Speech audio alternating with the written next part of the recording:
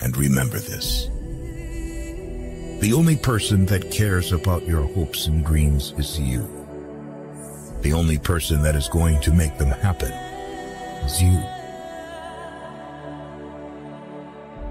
You have three choices in life. You can watch things happen, make things happen, or wonder what the hell happened. Be a good person, but don't waste your time proving it. Stay strong, even when things begin to fall apart.